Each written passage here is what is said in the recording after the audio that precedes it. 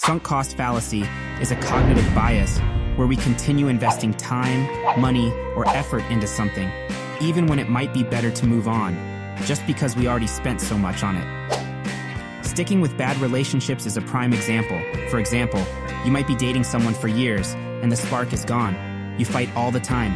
You know deep down you will both be happier apart, but still, you stay. Why? Because of the years you've already invested in the relationship. The thought of wasting all that time is too much, so you remain stuck. This is the sunk cost fallacy at play. Our brains are wired to overvalue what we already have invested compared to the potential benefits of moving forward. Psychologists call this loss aversion. We really feel the sting of losses more than equal gains.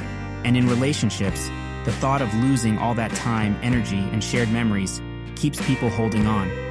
The tricky thing is, Sometimes sunk costs are worth writing out if the relationship can improve, but often we persist too long out of fear of regret, not rational calculations.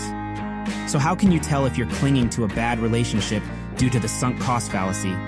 Here are a few key signs. You stay because you've already put in so much time, not because you're happy. The relationship is causing you chronic stress and unhappiness. You constantly feel the need to justify why you stay, Friends and family advise you to leave, but you resist. You minimize problems and focus only on the past positives. You can't imagine starting over or being alone. Ask yourself, if this relationship began today, knowing what you do now, would you stay committed?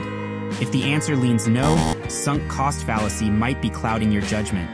The key is to shift focus. Instead of lamenting the years invested, recalibrate and evaluate if this relationship is currently and will continue to make you happy. Weigh that against the difficulty of leaving.